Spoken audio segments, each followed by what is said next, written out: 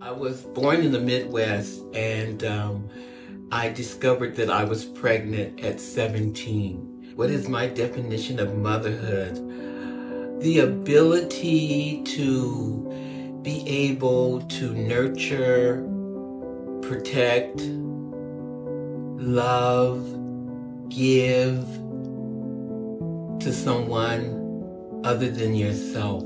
When they come to you and through you and they're your responsibility, then you mother them. There's not one word for motherhood because it's everything. It's everything. It's love.